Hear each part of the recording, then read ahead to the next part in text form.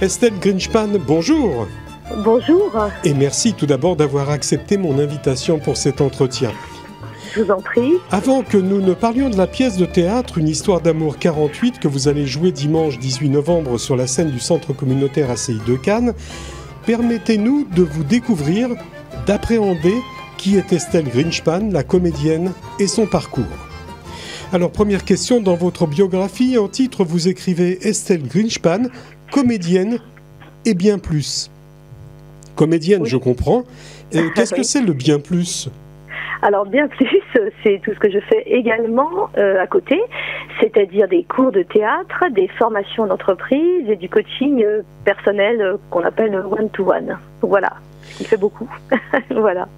Vous avez fréquenté trois écoles de théâtre, le cours Daniel Berliou, le cours de Vera Gregg et Daniel Aedo, et l'école du passage avec Nils Arestrup. Nils Arestrup. Euh, qu'est-ce que chaque école vous a apporté? Alors, dans l'école euh, du passage, on avait plutôt une initiation au clown un travail de clown qui n'est pas euh, celui de cirque bien sûr, mais un travail vraiment sur l'introspection, sur euh, euh, presque philosophique, sur qu'est-ce que qu'est-ce qu'un acteur sur scène, où on devait vraiment enlever toutes ces barrières et à travers nos fragilités, effectivement, ben, entre guillemets, faire rire. voilà. Après, j'ai beaucoup travaillé effectivement avec Daniel Berlioux, qui m'a appris énormément de choses, que ce soit au niveau. Et vous êtes resté cinq ans, hein? Avec oui, avec Daniel Berlioux, qui vient du cours Vera Gregg, en fait. C'est un peu le même. Euh, c'est des cours qui travaillent énormément sur l'émotion à la russe. Euh, mais Daniel avait a toujours d'ailleurs une méthode très particulière pour faire travailler. Il travaille à la fois physiquement, à la fois sur les émotions, sur la sincérité, sur euh, on ne joue pas, on est soi-même. Après on joue, mais on part de soi totalement. Mais donnez-nous un petit exemple pour que, ça soit fixe devant nos yeux. Alors, euh, on pleure vraiment, on rit vraiment, voilà. On, travaille, on a des exercices, c'est très difficile d'expliquer avec précision des exercices qui sont en fait scéniques. Le théâtre se vit et ne se parle pas tellement, enfin ne se ne s'explique pas tellement, il se vit. Euh, ce que je peux dire, c'est qu'on a travaillé énormément avec énormément d'exercices qui vraiment ouvrent les barrières et permettent à, à l'acteur de tout sortir, quoi, on va dire. Ça, veut dire que quand vous êtes sur scène et que vous avez des, sentiments à, faire paraître, ces sentiments, vous les avez réellement en vous? Je les ai réellement en moi quand je suis sur scène, tout à fait. C'est un microcosme de vie intense, totalement vrai sur scène. Et une fois que c'est fini, que le rideau se ferme ou qu'on s'en va, voilà, on est dans un, on est autre chose, on est autrement. C'est le paradoxe de l'acteur. À la fois, on vit quelque chose de totalement sincère sur scène, totalement, euh, mais on, une fois que c'est terminé, on, hop, on passe à, notre vie, à nous. Et le second cours, le cours de Vera Gregg et Daniel Aedo, qu'est-ce qui vous a apporté? Vous, êtes, vous y êtes resté euh, trois ans. Hein?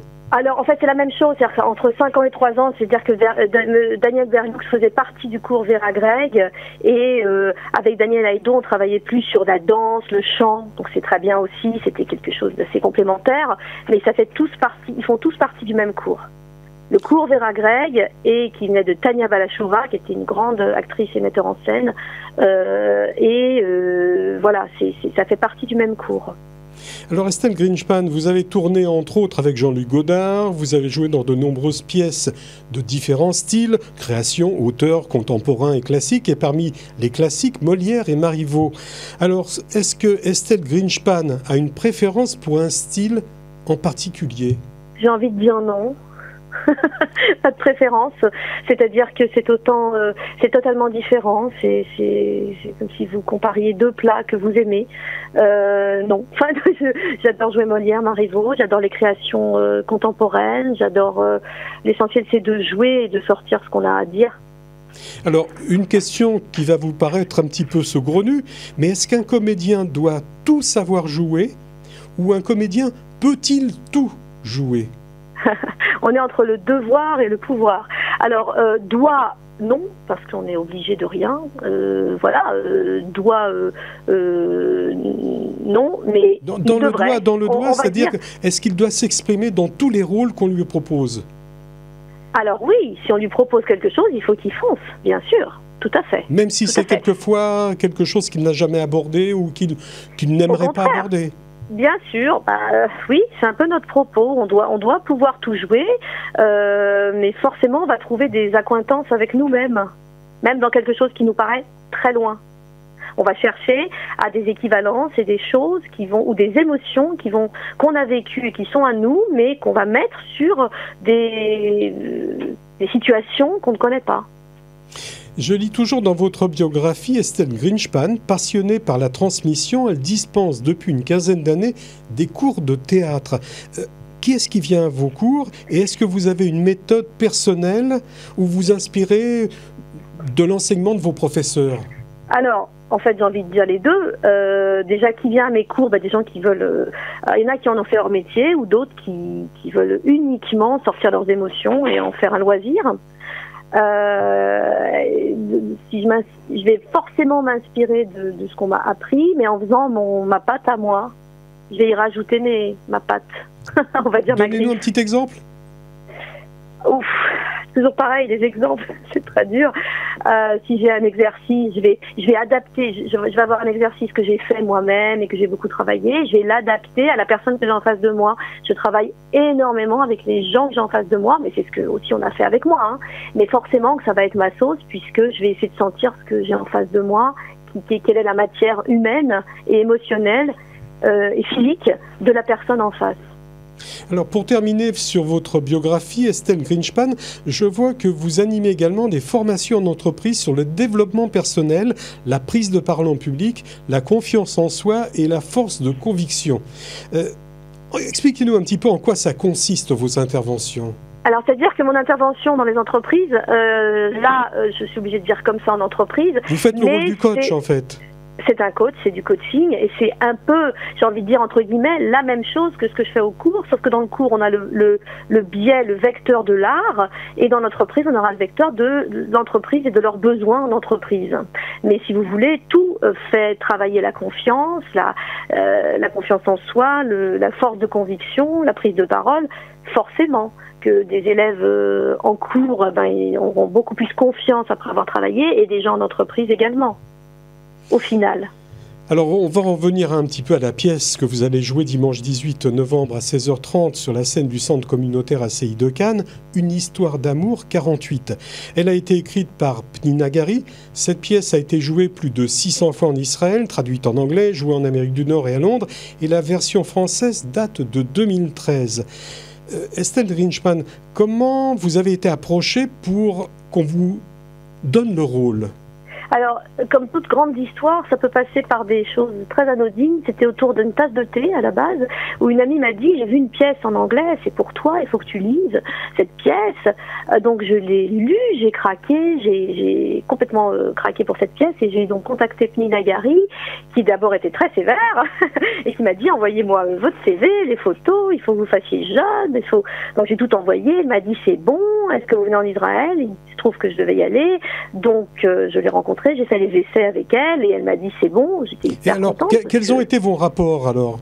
Alors, des très bons rapports, mais euh, en même temps, elle est très. On, bosse énormément avec elle et c'est très bien. C'est une grande professionnelle. C'est une grande professionnelle et heureusement qu'on avait la même façon de travailler. C'est-à-dire qu'elle aussi, elle était sur la sincérité totale et, et ce qui a permis d'aller assez vite dans le travail. Qu'est-ce qu'elle vous a apporté pour aborder et entrer dans le personnage et qu'est-ce qu'elle vous a apporté aussi dans la mise en scène? Alors c'est une mise en scène minimaliste, mais j'en dis pas plus. Et c'est ça que j'aime beaucoup. C'est aussi l'enseignement de versu. On n'a pas besoin de gros décors ou de grandes rococo, de, de grandes choses rococo. Et on peut tout exprimer à travers peu de choses. Et c'est ça qu'elle a véhiculé énormément. Euh, on a travaillé énormément. Je fais 13 euh, personnages sur scène à peu près. Donc on les a travaillés avec euh, que ce soit pas caricatural et que ce soit en même temps chaque personnage doit être sincère. On a énormément travaillé comme ça avec elle, assez, de manière assez intense d'ailleurs. Euh, je suis venue en Israël une semaine, on a travaillé de manière intense pendant une semaine et après j'ai travaillé toute seule. Bah, c'était quelque chose d'assez magique, on va dire. Estelle Greenspan, la pièce que vous allez jouer, Une histoire d'amour 48, évoque la rencontre inopinée à un arrêt de bus d'un homme et d'une femme en 1948 au lendemain de la guerre en Palestine sous mandat britannique juste avant l'indépendance de l'État d'Israël, avec en toile de fond les difficultés et les dangers que le pays doit affronter. Cette pièce met en relief les personnages, souligne leurs problèmes, leurs doutes et exalte les valeurs d'une période qui s'estompe au sein d'un État d'Israël en construction. Euh, qu'est-ce qu'évoque pour vous et dans votre conscience les événements que vous relatez? Bah, Cette pièce, elle, c'est une petite, la, petite histoire d'amour autour de la grande histoire de la construction d'Israël. Enfin, la grande histoire d'amour autour de la grande histoire de la construction d'Israël. Et forcément que je suis très touchée par la, la, construction de l'État d'Israël, quand l'État juif a été créé. Je peux pas en dire plus parce que sinon je vais dévoiler un peu trop euh, les choses.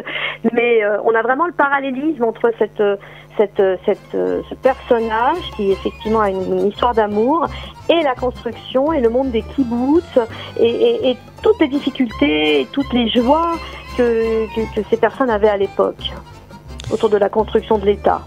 Et votre sentiment personnel? Une grande émotion. Je rappelle dimanche 18 novembre prochain à 16h30, placé sous l'égide du Keren Ayesod, représentation unique d'une pièce de théâtre intitulée Une histoire d'amour 48 sur la scène du centre communautaire ACI de Cannes et dans le rôle du personnage principal Estelle Grinspan, que je remercie d'avoir répondu à mes questions. Merci à vous. Et à dimanche. À dimanche.